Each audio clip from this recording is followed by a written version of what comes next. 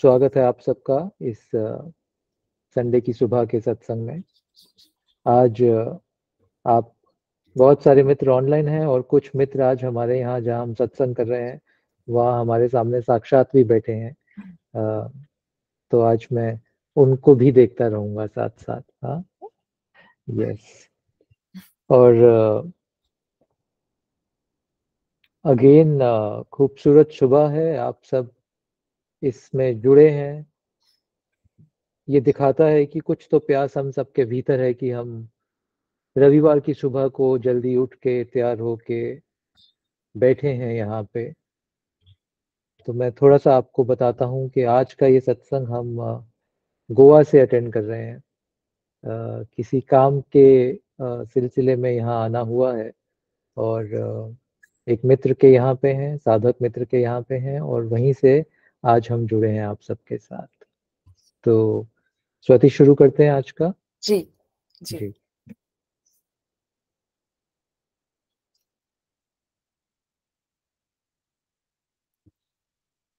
अनिश पहला प्रश्न एनोनिमस है ये पूछ रहे हैं। प्रणाम श्री अनिश जी।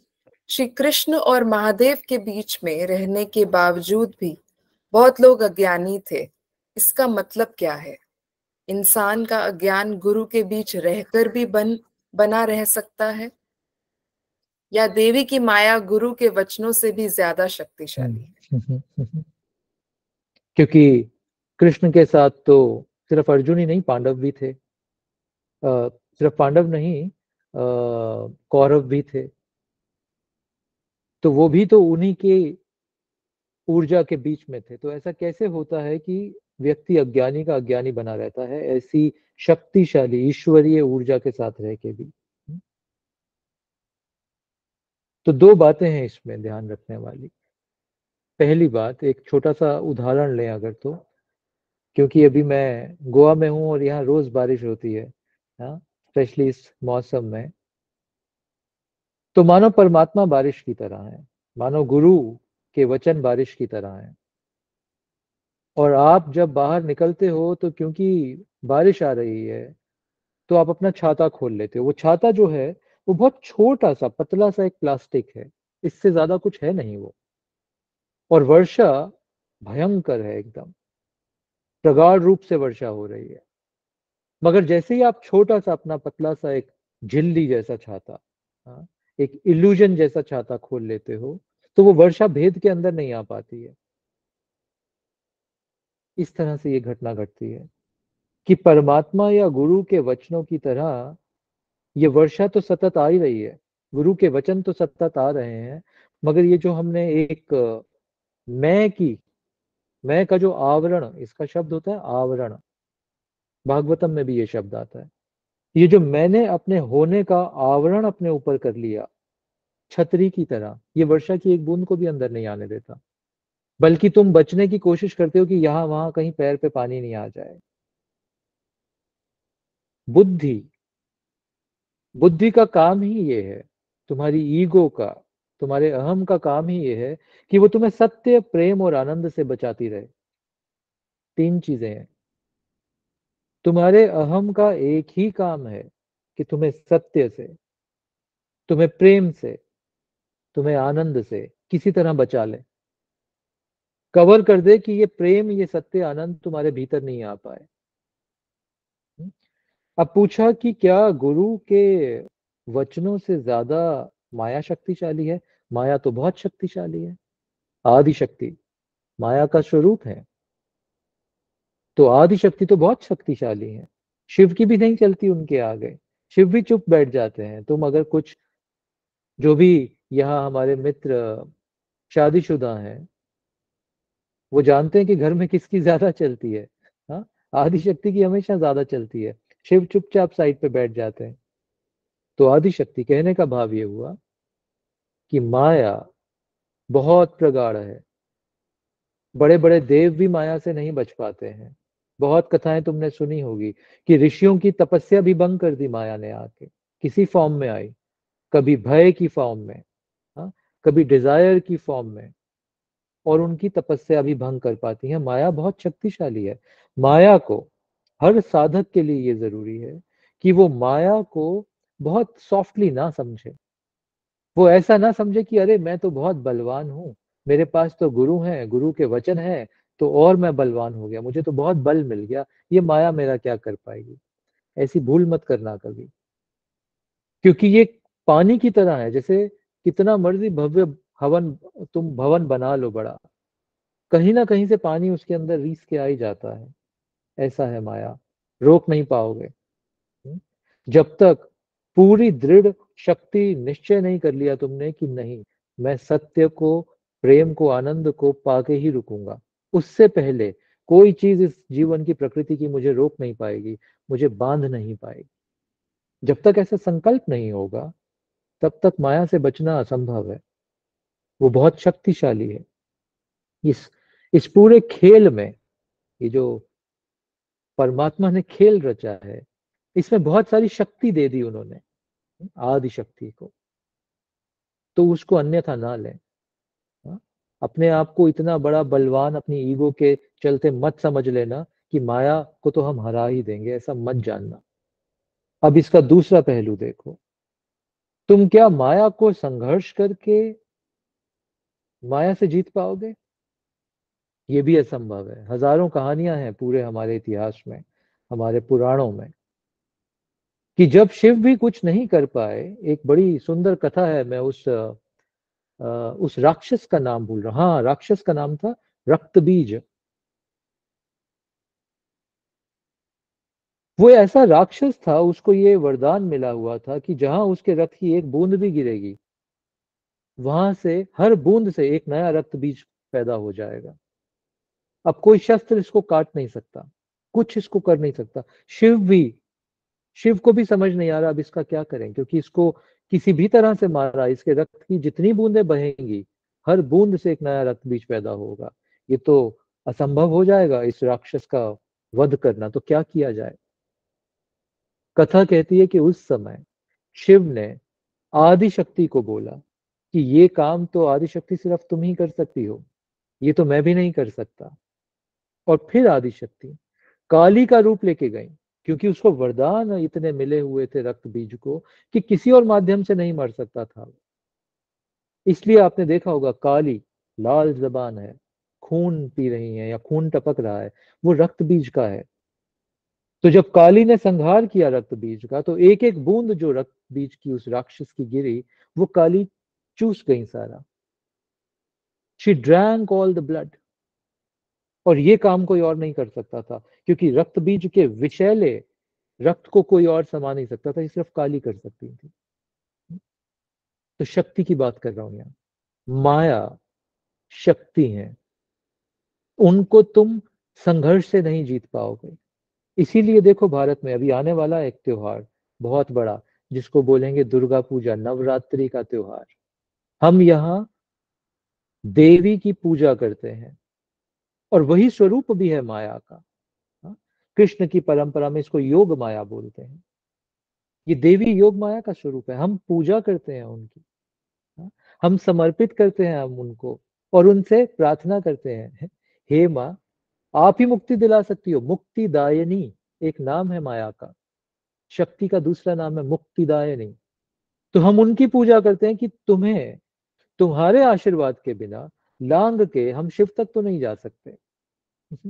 तो तुम्हारे आशीर्वाद के बिना ये सत्य, ये प्रेम, ये आनंद की यात्रा पूर्ण नहीं हो सकती माँ। तो इसलिए माँ की पूजा की जाती है।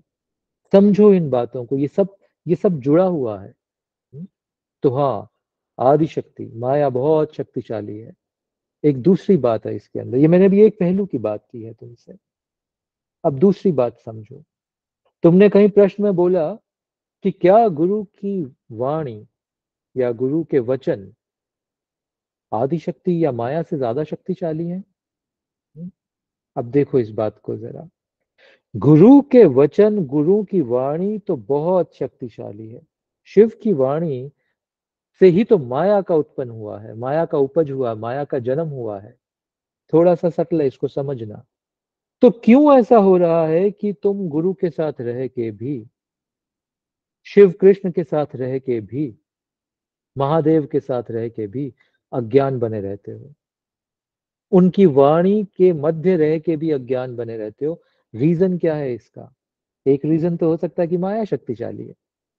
दूसरा रीजन पता है क्या है इसका? सुनना। तुम सुनते ही नहीं हो गुरु की वाणी को। तुम्हारा सिर्फ़ मन, यानी बुद्धि सुनती है गुरु की वाणी को। तुम्हारा हृदय तो सुनता ही नहीं है गुरु की वाणी को, क्योंकि सुनने के लिए तुम्हें सब खत्म करना होगा। सुनने के लिए तुम्हें उस क्षण जहाँ गुरु की वाणी उत्पन्न हो रही है, तुम्हें बस वहीं अपने आप को जड़ की तरह बिठा देना होगा। एज इफ़ कि पूरा जहाँ पूरा संसार आज खत्म हो गया मेरे लिए, बस ये वाणी, ये स्वर रह गया बस। ये जो गुरु की चेतना से जो ये शब्द निकल रहे हैं, बस ये मेरा सत्य है। इस प्रगाढ़ता से, इस गहराई से जिस दिन तुमने गुरु की वाणी सुन ली तो ऐसा मानो कि गुरु और माया के बीच में एक एग्रीमेंट हुआ हुआ है। शिव और आदि शक्ति के बीच में एक एग्रीमेंट है। वो एग्रीमेंट ये है कि जो भक्त, हे देवी, ऐसा एग्रीमेंट है, जो भक्त तुम्हारी पूजा करेगा और जो भक्त, ये देवी अब, ये महादेव को बोल रही हैं कि जो भक्त तुम्हारी वाणी संपूर्ण ग्रहण कर लेगा, मैं उसके बीच में नहीं आऊँगी। ये इन दोनों के बीच का एग्रीमेंट है। तो शिव बोल रहे हैं कि जब तक तुम आदि शक्ति को पूजोगे नहीं, तुम मुझ तक नहीं आ सकते। और आदि शक्ति बोल रहे हैं, जब तक तुम शिव की वाणी ही नहीं सुन लोगे हाँ आदि गुरु की वाणी नहीं सुन लोगे, जब सुन लोगे तो मैं बीच में नहीं आऊँगी। समझ रहे हो इस बात को? ये दोनों के बीच का एग्रीमेंट है।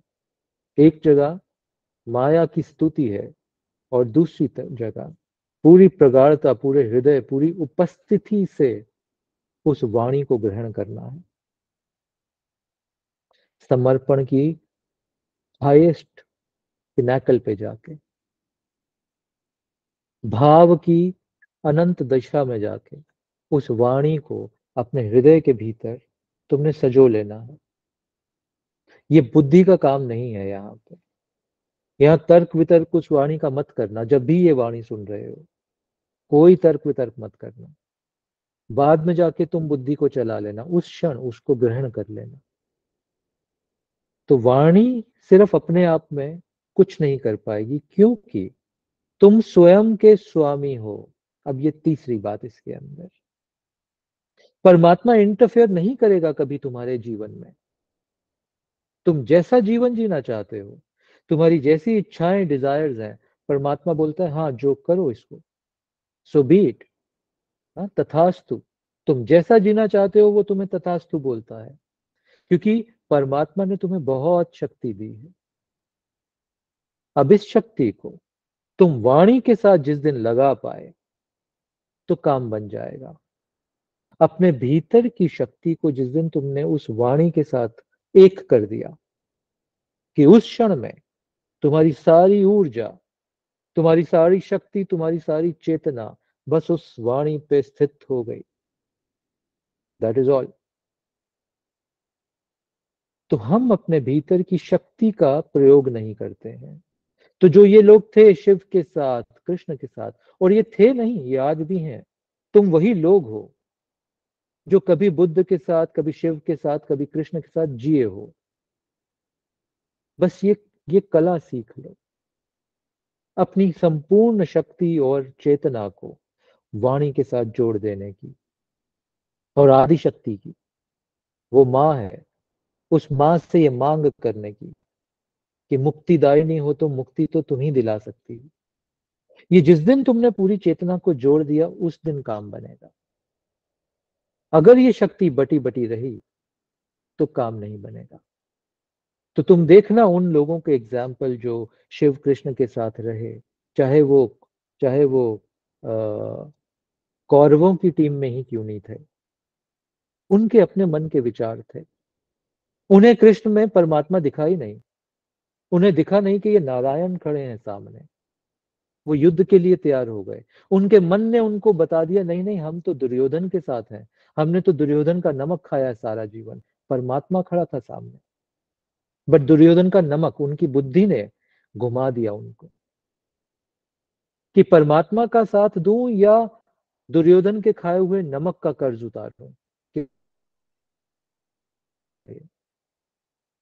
तो चेतना विभाजित हो गई। गुरु द्रोणाचार्य में भी ये चेतना विभाजित हो गई। उन्होंने भी हाँ, दुर्योधन के नमक का साथ दिया। सोच के देखना इस बात को। तो कैसे तुम्हारी बुद्धि तुम्हारी ऊर्जा को काट देती है? कोई ना कोई तर्क वितर्क दे के और भटक जाते हो तुम। सामने खड़े हुए कृष्ण से चूक जाते हो तुम। ये घटना सिर्फ़ महाभारत में नहीं हुई थी कि कृष्ण सामने खड़े हैं और कौरवों ने फिर भी उनका पक्ष नहीं लिया, उनके विरुद्ध जाके खड़े हुए। ये आज भी हो रहा है, ये तुम्हारे भीतर भी हो रहा है। कितने कृष्णों से तुम मिलते हो रोज अपने जीवन में? कितने गुरुओं से? मगर तुम्हारे भीतर की चेतना, तुम्हारे तर्क, तुम्हारे वितर्क, तुम्हारी डिजायर्स तुम्हें उनके साथ खड़ा नहीं होने देती। वो खींच के तुम्हें किसी और संसार में ले जाती हैं। अपने भीतर देखना इस बात को। ये प्रश्न उन लोगों का नहीं है। ये प्रश्न तुम्हारे भीतर घट रहा है। कितनी कितनी हिम्मत है तुम्हारे भीतर किसी कृष्ण, किसी महादेव के साथ खड़े हो जाने की। तब ये वाणी तुम सुन पाओगे। और जिसने सुनी जिसने सुनी, उसके भीतर बसी। इसका मतलब ये हुआ कि तुम सुन तो रहे हो, मगर सुन ही नहीं रहे हो। तुम सुन तो रहे हो बट सुन ही नहीं रहे हो। यानी तुम पूरी अपनी ऊर्जा को लगा के नहीं सुनते हो गुरु की वाणी, इसलिए चुप जाते हो। नहीं तो एक शब्द, ये इतने प्रश्न आते हैं रोज। एक प्रश्न बहुत है तुम्हें जगा देने के लिए, एक प्रश्न का उत्तर बहुत है तुम्हें जगा देने के लिए। बार बार क्यों पूछना पड़ता है? अलग अलग ढंग से मुझे क्यों बोलना पड़ता है? इस उम्मीद में कि एक दिन तुम सुन ही लोगे, और ये मेरा विश्वास है, एक दिन तुम सुन ही लोगे। उसी विश्वास के प्रति बोलता हूँ। आशा करता हूँ ये कुछ चंद बातें जो मैंने तुमसे शेयर की, ये तुम्हारी यात्रा में तुम्हें मदद करेंगी। धन्यवाद। जी स्वाति। जी कुछ हाँ, प्रश्नों के उत्तर थोड़े लंबे हो जाते हैं मुझे पता है कि और प्रश्न भी होते हैं। बट मुझे लगता है कि कभी कभी एक प्रश्न के अंदर इतने राज हैं कि अगर उसमें से कोई भी राज पकड़ में आ जाए तो ये पूरा जो उलझा हुआ है हमारे भीतर ये सब खुल जाएगा। बहरहाल जी स्वाति अगला प्रश्न। जी अनिश जी अगला प्रश्न भी जो हमारा YouTube पे श्री भागवतम कथा काल प्रसारण हो रहा है उसी में से ही है।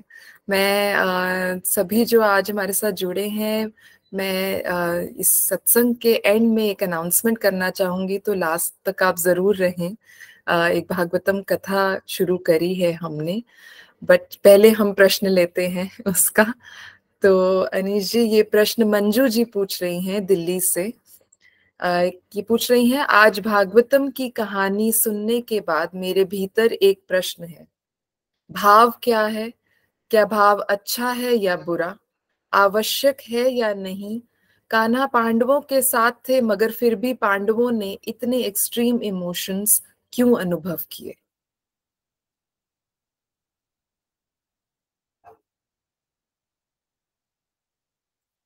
आपकी आवाज़ अनिजी, आप म्यूट पे हैं। जी। का आज अधिकतम प्रश्न भागवतम से जुड़े दिख रहे हैं। हाँ। अच्छा बट अच्छा है महत्वपूर्ण प्रश्न है ये भी। भाव क्या है? क्योंकि साधना में भाव शब्द इमोशन शब्द की बहुत बार बात आती है। तो भाव है क्या? आज इसको थोड़ा सा समझ लेते हैं। भाव एक ऊर्जा है। It's a form of energy किसी भी चीज़ पे जब तुम निरंतर अपनी ऊर्जा डालते हो, किसी भी विचार पे जब तुम निरंतर अपनी ऊर्जा डालते हो तो ये एक प्रगाढ़ भाव में परिवर्तन हो जाता है। तो कॉन्सेंट्रेटेड एनर्जी है ये। एक एग्ज़ाम्पल लेते हैं इसका। कोई व्यक्ति गया सड़क पे और उसने तुम्हें घूर के देखा, बिना कुछ तुम्हारे किए। तुम्हारे भीतर एक विचार आया कि इसने मुझे ऐसा क्यों देखा? विचार। अब तुम इस विचार पे अपनी ऊर्जा लगाते हो। अब तुम उस व्यक्ति के बारे में सोचने लगते हो। अब तुम ऊर्जा डालते हो इस पे कि उसने ऐसा मुझे क्यों देखा? उसकी हिम्मत कैसे हुई मुझे ऐसा देखने की? अच्छा अब ये तुम ऊर्जा दे रहे हो इस विचार को। करते करते ऊर्जा देते देते तुम्हारी अवस्था यहाँ तक पहुँच गई कि तुमने ये तक ऊर्जा डाल दी कि अभी इसको मज़ा चखाता हूँ। अब ये ऊर्जा प्रगाढ़ हो गई। अब तुम उसको जाके उसके साथ झगड़ा करोगे। ये छोटे से विचार से पैदा हुआ और अब ये भाव बन गया। किस बात का भाव? गुस्से का भाव। एंगर का भाव बन गया। शुरू हुई थी बात एक छोटे से विचार से। तो भाव प्रगाढ़ ऊर्जा है। ये बहुत प्रगाढ़ ऊर्जा है। तुमने पूछा कि ये बुरी है या अच्छी है? ऊर्जा का अपना कोई स्वरूप नहीं होता। ऊर्जा ऊर्जा है। उस ऊर्जा को तुम कहा इस्तेमाल करते हो? बुरा है। यही ऊर्जा भय बन जाएगा तो भय का भाव आ जाएगा। यही ऊर्जा गुस्सा बन जाएगा तो गुस्से का भाव आ जाएगा। और यही ऊर्जा प्रेम बन जाएगा तो प्रेम भाव आ जाएगा। यही ऊर्जा समर्पण बन जाएगा तो समर्पण का भाव आ जाएगा। हम्म? ये ये ऊर्जा है ये अच्छा बुरा नहीं होता, कहाँ इसको लगाते हो? इसको ऐसा समझो, ये न्यूक्लियर पावर है, एटॉमिक पावर है ये। तुम उससे दुनिया का भला भी कर सकते हो और तुम उससे देशों को बर्बाद भी कर सकते हो। ऐसा कहना गलत है कि एटॉमिक एनर्जी में कोई प्रॉब्लम है। एटॉमिक एनर्जी न्यूट्रल है। तुम कहाँ लगाते हो उसको? उसमें कला है सारी। तो भाव, ऊर्जा है। अब तुमने पूछा कि ये ज़रूरी है या नहीं? भाव ज़रूरी है। और हर एक के भीतर ये है ही। परमात्मा ने जब तुम्हें बनाया, कुछ चीज़ें डाल दी इस प्रकृति ने तुम्हारे भीतर, भाव की ऊर्जा उसमें से एक है। हमारी प्रॉब्लम यह है कि हमारा नियंत्रण नहीं है अपने भाव की ऊर्जा पे। हमारे बाहर की ऊर्जा बाहर की परिस्थितियों पे डिपेंडेंट है। दोबारा बोलता हूँ, ये स्टेटमेंट ज़रूरी है। तुम्हारे भाव की ऊर्जा बाहर की परिस्थितियों के ऊपर निर्भर करती है, ये प्रॉब्लम है। तो बाहर की परिस्थिति ने जैसा किया, तुम्हारा भाव बस चल पड़ा उस तरफ़। तुम्हारे तुम्हारे भीतर तुम्हारे भाव की ऊर्जा पे नियंत्रण नहीं। अगर ये नियंत्रण हो भाव की ऊर्जा पे तो तुम इसी भाव को ईश्वर के प्रेम पे लगा दोगे। अब तुमने प्रश्न उठाया कि पांडव तो कान्हा के साथ थे तो उनके अंदर इतने एक्सट्रीम इमोशंस क्यों जाग रहे थे? कभी गुस्से के, कभी भय के, हर तरह के। गीता पूरी इस बात पे टिकी है। देखो जरा अगर तुम गीता को बड़े ध्यान से संक्षेप में 700 सूत्र हैं गीता के अंदर। बहुत ध्यान से अगर देखो तो हुआ क्या है गीता के अंदर? कहाँ से शुरू हुई ये यात्रा अर्जुन की और कहाँ पहुँची? देखो इसको जरा। ये यात्रा भाव की है, ये यात्रा भाव परिवर्तन की है। देखो इस यात्रा को। ये यात्रा शुरू हुई। अर्जुन के भीतर भय का भाव आ गया। कि युद्ध कैसे करूँ, कितनी स्त्रियाँ अनाथ हो जाए कितनी बच्चे अनाथ हो जाएँगे, स्त्रियाँ विधवा हो जाएँगी, कैसे युद्ध करूँ? भय का भाव आ गया।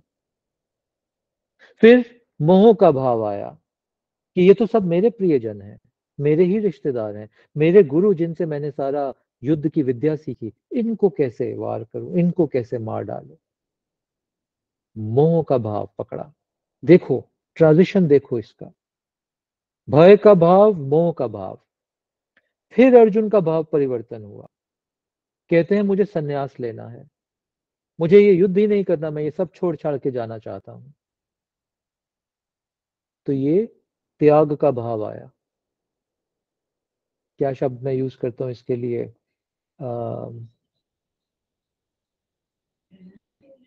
रिनंसिएशन का हिंदी में क्या बोलते हैं हम? वैराग। तो ये वैराग का भाव पकड़ा। बट ये वैराग गहरा नहीं था अर्जुन के भीतर। ये परिस्थिति डिपेंडेंट वैराग था। रियल वैराग तो बड़ी अद्भुत चीज़ है। बड़ी सुंदर चीज़ है। बट अर्जुन के भीतर जो वैराग आया, ये परिस्थिति वैराग है कि उस क्षण में आया है, उस परिस्थिति में। अभी परिस्थिति बदल जाएगी, इनका वैराग बदल जाएगा। भाव दशाएँ अर्जुन की देखो। फिर भाव दशा आती है अर्जुन की। कंफ्यूजन ये भी भाव ही है। मुझे नहीं पता कि क्या सही है, क्या गलत है। हे कृष्ण, क्या करूँ इस परिस्थिति में? हाँ ये द भाव ऑफ़ नॉट नोइंग कि मैं नहीं जानता, मैं तो फंस गया। ये भाव देखो, चलते जा रहे हैं अर्जुन के। अब यहाँ से गीता शुरू होती है। और यहाँ से कृष्ण बात करते करते करते करते अर्जुन को ऐसी भाव दशा में लेके जाते हैं 700 श्लोकों के बाद। जब अर्जुन ये बोलता है कि, हे कृष्ण, तुम ही तुम हो बस। मेरा भ्रम भंग हो गया। जिस भ्रम में मुझे लगता था कि मैं कुछ हूँ, ये तो तुम ही हो। लड़ने वाले भी तुम बाण चलाने वाले भी तुम, ये बाण भी तुम। इस बाण को खींचने की ऊर्जा भी तुम। कृष्ण तुम ही तो हो। ये समर्पण का भाव अब जाग गया अर्जुन के भीतर। पूरी यात्रा ये थी गीता की कि इन सभी भावों से मुक्त होकर अर्जुन समर्पण के भाव में प्रवेश कर जाए। क्योंकि समर्पण के भाव में ही कर्म की परिकाष्ठा हो सकती है। फिर से बोलता हूँ ये बात। समर्पण के भाव में ही तुम्हारे कर्म की परिकाष्ठा हो सकती है। यानी you can attain your highest possibility समर्पण के भाव में। ये गीता इस बात का उदाहरण है। तो कृष्ण ने अर्जुन के भाव ऊर्जा को परिवर्तन कर दिया। भय, मोह के भाव को समर्पण के भाव तक ले गए कृष्ण। ये काम होता है गुरु का। वो तुम्हारे भावों को जगाता है। वो तुम्हारे भावों को फिर परिवर्तित करता है। ये ट्रांसफॉर्मेशन की कला होती है कृष्ण के पास, गुरु के पास। क्योंकि ऊर्जा तो चाहिए। प्रॉब्लम वहाँ आएगी जब तुम्हारे भीतर भाव ऊर्जा तुमने मार डाली। बहुत सारे लोग तुम अपने आसपास ऐसे देखोगे, जिनके भीतर भाव हैं, इमोशन है, बट किन्हीं चीज़ों के चलते उन्होंने उनको उस, उन भावों को बस मार ही डाला है। दबा ही दी उस ऊर्जा को। अंग्रेज़ी में शब्द यूज़ करते हैं सप्रेस सप्रेस कर डाला अपने भाव को। तो गुरु का पहला काम, कृष्ण का पहला काम, सप्रेस भाव को उजागर करेंगे। फिर उन भावों की ऊर्जा को इस्तेमाल करके एक ट्रांसफॉर्मेशन, परिवर्तन की यात्रा पे लेके जाएँगे तुम। और अंततः भाव समर्पण की अवस्था में आ जाओगे तुम। भाव समर्पण के दो मतलब हुए। पहला मतलब समर्पण का भाव जाग जाएगा। दूसरा मतलब तुम सभी भावों को ही समर्पित कर दोगे ईश्वर के कदमों में। कि हे कृष्ण, आज से मेरे भीतर जो भी भाव उत्पन्न हो रहे हैं, सभी तुम्हारे। अब ये समर्पण की परिकाष्ठा हो गई। दी एपिटम ऑफ़ सरेंडर आ गया। समझना इस बात को। भाव समर्पण के दो मतलब हुए। हम्म? तो ये हुआ पूरी गीता में। और इस वजह से पांडवों ने कृष्ण के साथ रहते हुए बड़े सारे एक्सट्रीम इमोशंस अनुभव किए। और एक चलते चलते एक छोटी बात, एक छोटी सी और सूत्र है इसके अंदर। वो सूत्र ये है, अभी हमने बात की, हम सप्रेस कर देते हैं अपने भाव को, अपने इमोशंस को। अब सूत्र यहाँ पे ये है कि क्यों पांडवों ने स्पेशली अर्जुन ने इतने एक्सट्रीम भाव अनुभव किए? मालूम क्यों? मैंने अभी इसका एक सूत्र बताया बट उसको खोल रहा हूँ ताकि तुम पकड़ पाओ इसको। कि गुरु का पहला काम होगा तुम्हारे भावों को उजागर करना जो तुमने दबाए हुए हैं। यानी जिस ऊर्जा को तुमने बंद करके रखा हुआ दबा के रखा हुआ गुरु पहले तो उसका विस्फोट करके खोलेगा तो गुरु के पास आते ही तुम ज़्यादा भाव अनुभव करने लगोगे तुम्हारे इमोशंस एक्सट्रीम होने लगेंगे। यही हुआ अर्जुन के साथ। दबा दबा नहीं था उसका भाव खोल दिया कृष्ण की प्रेजेंस ने। अर्जुन के भावों का का आ, का झरना खोल दिया। कोई बात नहीं, पहले भय के भाव आए, मोह के भाव आए, कोई बात नहीं, भाव आए तो सही, ऊर्जा का झरना खुला तो सही। ये हुआ कृष्ण की प्रेजेंस में। और फिर कृष्ण तो कृष्ण है, उनको कीमिया पता है, वो इस मोह भाव को समर्पण भाव तक ले जाएँगे। इसलिए पांडवों ने, और कृष्ण के पास जब थे तो महाभावों को अनुभव किया। चाहे वो महाभाव शुरू में नेगेटिव थे बाद में जो ईश्वरीय हो गए। तो गुरु की प्रेजेंस में भाव उत्पन्न होंगे। ये होना ज़रूरी है। तो सप्रेशन में मत जीना। अगर सप्रेशन है, अपने भावों को थोड़ा मुक्त करो। नहीं कर पा रहे तो चले जाना, बैठ जाना किसी गुरु के पास, किसी कृष्ण के पास, किसी महादेव के पास। महादेव के पास तो नहीं बैठ पाओगे, महादेव की छवि में तो बैठ पाओगे। और देखना तुम्हारे भावों का एकदम फवारा खोल देंगे वो। फिर खेल शुरू होगा वहाँ से यात्रा का आरंभ होगा। सोचना, समझना, ये बात बड़ी, तुमने प्रश्न मुझे पता नहीं किस दृष्टि से पूछा था, बट ये है बड़ा गहरा इसका जो हमने थोड़ा सा आज इसको खोला, इसको पकड़ पाओ तो इस सागर में, इस भव सागर में डूब के भाव सागर तक पहुँच जाओगे। थोड़ा सा सोचना समझना इसको पुनः सुनना ये मदद करेगा तुम्हारी। धन्यवाद। जी स्वाति। जी अनिश जी हम एक लाइव प्रश्न भी ले सकते हैं। हाँ। जी ओके। जी। तो हमारा जो प्रश्न है वो संजीव जी पूछ रहे हैं। मैं ट्रांसलेट कर देती हूँ उसको। आ, ये कह रहे हैं कि वैसे तो ये आ, मैं ज़्यादा लाइफ में इतने क्वेश्चन पहले मेरी जीवन में बहुत क्वेश्चंस आते थे बट uh, पिछले छह महीनों में क्वेश्चंस खत्म हो गए हैं। अब कोई प्रश्न है नहीं। ऐसा क्यों है? क्या ऐसा शिव के प्रति समर्पण के कारण हो रहा है कि मेरे प्रश्न खत्म होते जा रहे हैं?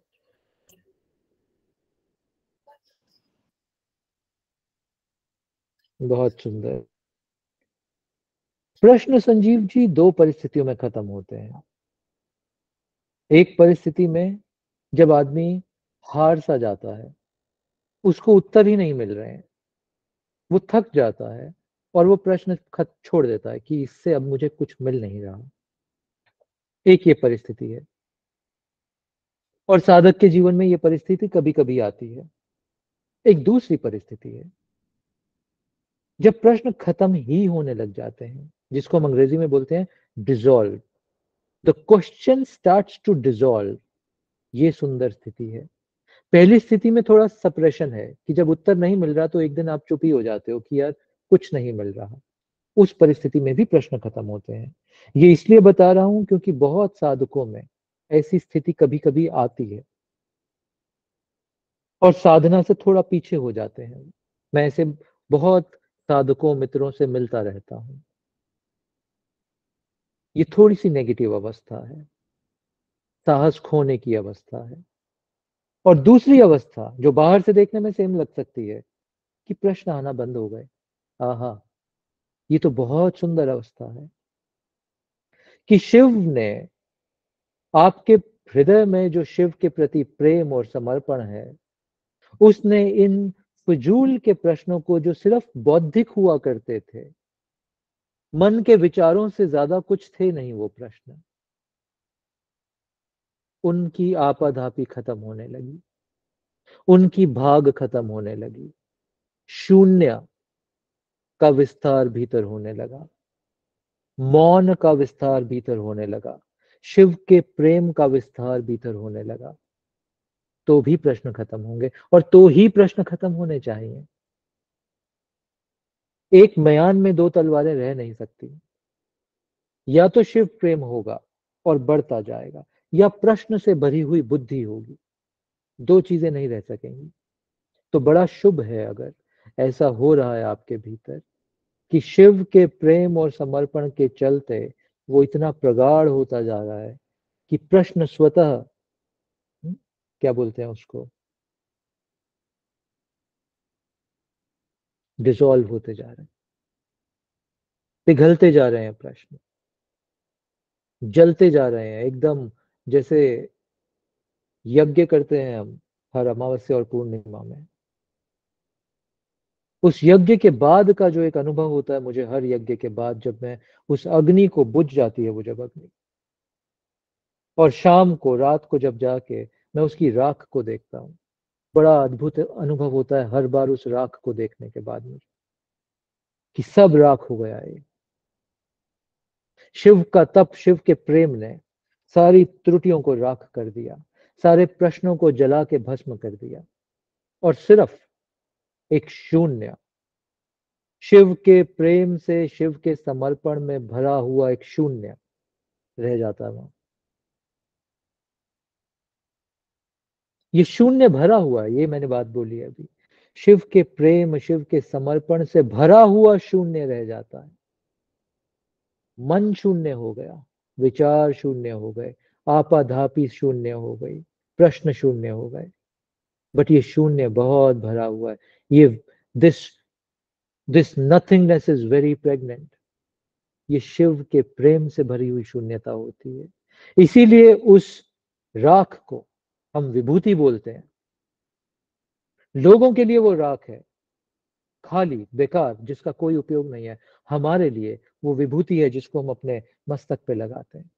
हमारे लिए वो शिव के आशीर्वाद से भरी हुई विभूति है। उसका तो बड़ा उपयोग है। पूजनीय हो गई वो हमारे लिए। हमारे लिए वो बहुत भरी हुई राख है। तो आपकी साधना को प्रणाम है। आपके शिव प्रेम को प्रणाम है। अगर शिव समर्पण के चलते आपके भीतर प्रश्न खत्म हो रहे हैं तो इससे अच्छा इससे सुंदर, इस साधना में और क्या होगा? आगे बढ़िए। इस प्रेम को और सतत हर सांस के साथ जी, हर सांस के साथ इस प्रेम को और जियो। हर श्वास में बस यही प्रेम बसे, इस जीवन का कोई और उपयोग नहीं है। आपके साथ ये घटना घट रही है। प्रश्न अंत हो गए हैं या होते जा रहे हैं। इसका भी श्रेय, इसका भी धन्यवाद सतत शिव को देते रहना, क्योंकि शिव के आशीर्वाद के बिना ये प्रश्न कभी भस्म नहीं होते हैं। उन्हीं का कोई बहुत अद्भुत आशीर्वाद है कि आपके प्रश्न भस्म हो रहे हैं। ये बहुत सुंदर है, बहुत अद्भुत है, बहुत अद्भुत है। मेरा भी प्रणाम आपको इस बात के लिए। बहुत बहुत धन्यवाद। जी, स्वाति, हम समय को देखते हुए एक प्रश्न और ले सकते हैं आज। जी।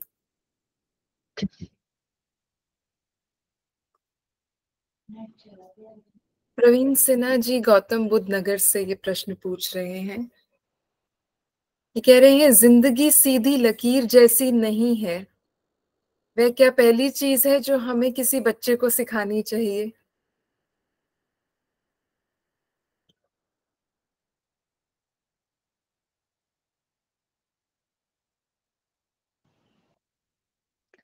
सुंदर प्रश्न है।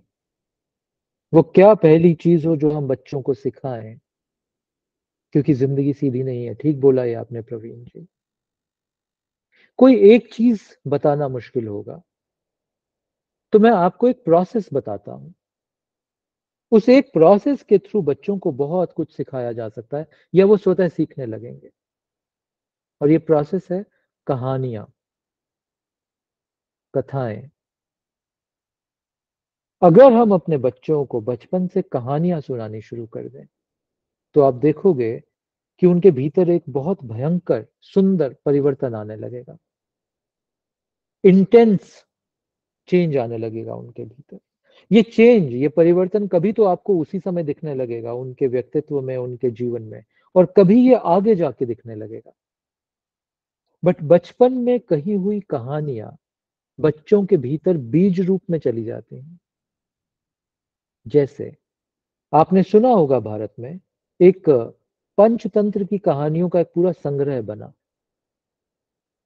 इस हर कहानी में जीवन के ऐसे गुणों की बात की गई कहानियों के माध्यम से और ये बच्चों के लिए बनाई गई थी। इसके पीछे भी एक कहानी है जिसमें अभी नहीं जाएँगे समय को देखते हुए। मगर अगर ये कहानियों का प्रोसेस हम बच्चों के साथ शुरू कर दिए, इस तरह की कहानियों का, कोई भागवतम की कहानियाँ, कोई पंचतंत्र की कहानियाँ, कोई जता, जातक कथाएँ बुद्ध की, जो सीखने योग्य है इस प्रकृति में इस पृथ्वी पे, वो बच्चा स्वतः सीखने लगेगा। आपको सिखाने का कुछ एक्स्ट्रा एफर्ट नहीं करना पड़ेगा। तब कुछ बच्चा वो स्वयं सीखने लगेगा। क्यों? इन कहानियों से सबसे पहले जो बच्चे के भीतर जाता है वो है इंस्पिरेशन प्रेरणा। बच्चा आपकी कही हुई बातों से कुछ नहीं सीख रहा, वो एक प्रेरणा ले रहा है। आपने उसके इर्द गिर्द क्या प्रेरणा के स्रोत बनाए हैं? ये महत्वपूर्ण है। अभी हम अपने बच्चों को तो घर के अंदर कैद रखते हैं। प्रकृति के दर्शन नहीं कराते बच्चों को। और उनको उस प्रेरणा सूत्र से काट रहे हैं। एक तो प्रेरणा उनको इन कथाओं से मिलेंगी। एक प्रेरणा, ये जो प्रकृति 24 घंटे कुछ कथाएँ कह रही है, इनसे प्रेरणा मिलती है बच्चों को। ये क्या प्रेरणा इनको आप शब्दों में नहीं बोल सकते। बट ये प्रकृति सतत उन छोटे बच्चों को किसी चीज़ के लिए प्रेरित करती रहती है। किसी सुंदरता के लिए प्रेरित करती रहती है। ये वृक्ष, ये तितलियाँ, ये गिलहरियाँ, ये घास, ये पानी, ये हवा, ये आकाश, ये सूरज, सतत बच्चों को कुछ प्रेरणा दे रहा है। आपका काम सिर्फ़ इतना कि इस प्रेरणा के बीच में मत आओ आप। स्वयं ले लेंगे वो। आपका सिर्फ़ इतना काम आप सिखाने का प्रयास मत करो, वो स्वयं ले लेंगे। और प्रयास करना है, जो कि हमें लगता है कुछ तो हम करें तो कहानियाँ। ये कुछ कहानियाँ उनको सुनाओ। किसी पेड़ के नीचे अपने पार्क में जाके बिठा के, तितलियों भवरों के बीच में, उनको कुछ कहानियाँ सुना देना। प्रेरणा का सूर्य उदय होगा उनके हृदय में।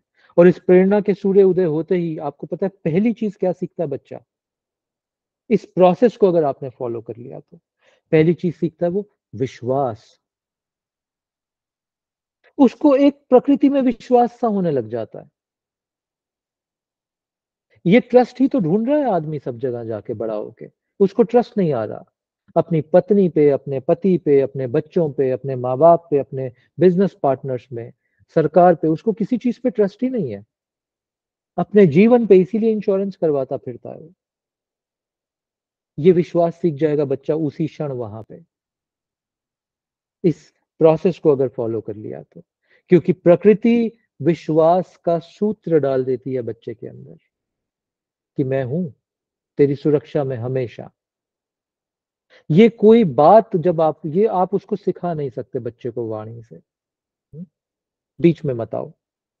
और आना है तो कथाओं के माध्यम से आना। और इसके बाद जो दूसरी चीज़ बच्चा स्वतः सीखेगा इस प्रोसेस में, वो सीखेगा प्रेम। निर्भयता। क्योंकि अभी तो बच्चों को हम भय डालते हैं उनके भीतर।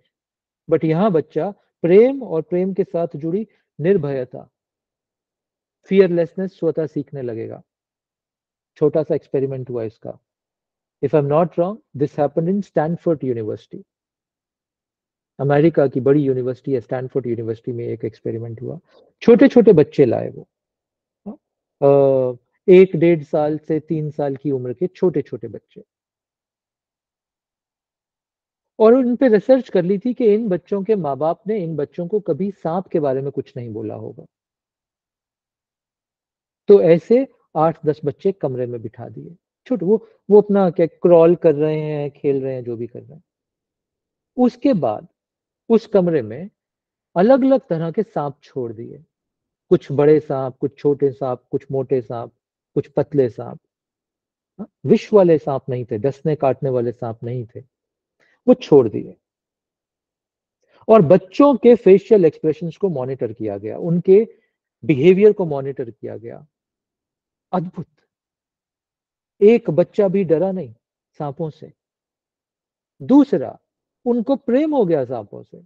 वो खेलने लगे, जैसे कि सांप और उनमें कोई फ़र्क ही नहीं है। जैसे उनकी बाजू है, जैसे उनकी उंगलियाँ हैं, वैसे ही सांप है। तो सांप को उठा रहे हैं, सांप के साथ लेटे हैं, सांप उनके मुँह पे चल रहा है, सांप को छू रहे हैं। सांप उनके जीवन का, उनके शरीर का हिस्सा बन गया। कोई भय नहीं। और प्रेम। सांपों के साथ खेलने में प्रेम आ गया उनके भीतर। अद्भुत रिसर्च थी ये। इस रिसर्च से ये साबित हो गया कि इन छोटे बच्चों में छोटे छोटे बच्चों में ये भय हम डाल रहे हैं। उनमें कोई भय नहीं है, क्योंकि नेचर में कोई भय नहीं है। सीख गए बच्चे फियरलेसनेस का गुण सीख गए बच्चे। अब इन बच्चों को सारा जीवन कोई सांप से डरा नहीं पाएगा, क्योंकि प्रेम हो गया उनको सांपों से। देखा आपने? एक छोटे से प्रयोग से। ये करना ज़रूरी है बच्चों के साथ। और ये किया तो चार गुण और बच्चों के अंदर स्वतः डेवलप होंगे। ये चार गुण जिनकी बात सनातन धर्म में भी की गई और बुद्ध ने भी बात की। ये चार गुणों में पहला बच्चों के अंदर साथ में डेवलप होगा मैत्री का गुण। वो सबके साथ मैत्री करने लगेंगे। क्योंकि उन कथाओं के द्वारा उनके भीतर कुछ बीज गए। प्रकृति से जुड़ के उनके भीतर ये मैत्री का भाव आ गया। चिड़ियाओं को देखते हैं, वो कुत्तों को आपस में खेलता हुआ देखते हैं, ये मैत्री का भाव जुड़ेगा करुणा आएगी उनके भीतर।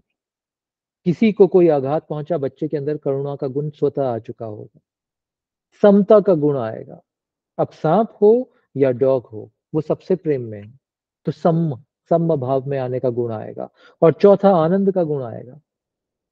क्योंकि प्रकृति तो नाच रही है। तो आपके बिना कुछ किए, बच्चे को जीवन में जो सीखने की आवश्यकता है, वो सीख गया हो। थोड़ा सा रिवाइंड कर देते हैं ताकि सूत्र पकड़ में आ जाए। हमने सिर्फ़ दो ही चीज़ें की। एक, बच्चे को प्रकृति में ले गए और उसके बीच में नहीं आए। बच्चे ने स्वतः प्रकृति से रिश्ता बना लिया। और सारा ज्ञान प्रकृति को पता है, उस बच्चे को जो देने योग्य है वो दे देगी। दूसरा, क्योंकि मानव जीवन है तो कुछ कथाएँ हमने बच्चे को कुछ कहानियाँ सुनानी शुरू की। ये आईपैड पे डराने वाली कोई कहानियाँ नहीं है। ये जताक जातक कथाएँ हैं। ये पंचतंत्र की कथाएँ हैं। ये भागवतम की कथाएँ हैं। और ये सूत्रपात कर दिया आपने। इस बच्चे के जीवन में सूर्य उदय का एक सूत्रपात कर दिया। ज्ञान के सूर्य उदय का, जीवन के सूर्य उदय का, आनंद प्रेम के सूर्य उदय का सूत्रपात कर दिया। इतना कर दिया हमने तो ये बहुत बड़ा योगदान है हमारा इस जीवन के प्रति। और ये ऋण है हम सबके ऊपर। हमें ये ऋण इन बच्चों के साथ इस तरह का व्यवहार और काम करके चुकाना चाहिए। तो जहाँ भी यह अवसर मिले, छोटे बच्चों के साथ होने का ये ज़रूर करना। एक नई एक नई जनरेशन का जन्म होगा, ये कर पाए हम तो। एक आनंदित जनरेशन का जन्म होगा। क्योंकि अभी वर्ल्ड में दूसरा बड़ा पेंडेमिक पता है कौन सा बन गया? सोरोफुलनेस का। ये संसार दुखी हो गया है। हमने दुखी समाज का निर्माण कर दिया है। बदल जाएगा ये। अगर ये हम, ये एक छोटा सा प्रयोग बच्चों पे कर पाए तो। इसको सुनना और जहाँ जहाँ आपको मौका मिले, इसको करने का अभ्यास करना। ये सुंदर है। आशा करता हूँ ये मदद करेगा आपको। धन्यवाद। जी, स्वाति, जाने से पहले दो मिनट सब आँख बंद करके बैठेंगे।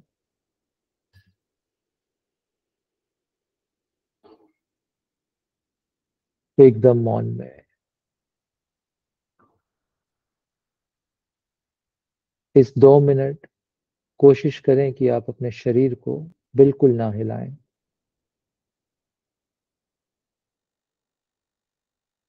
जैसे पोस्चर में है, बस वैसे ही रहें।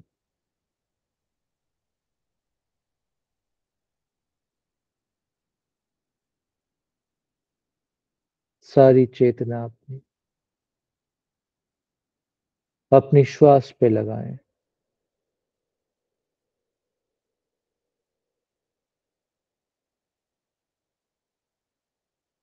बस देखें श्वास को।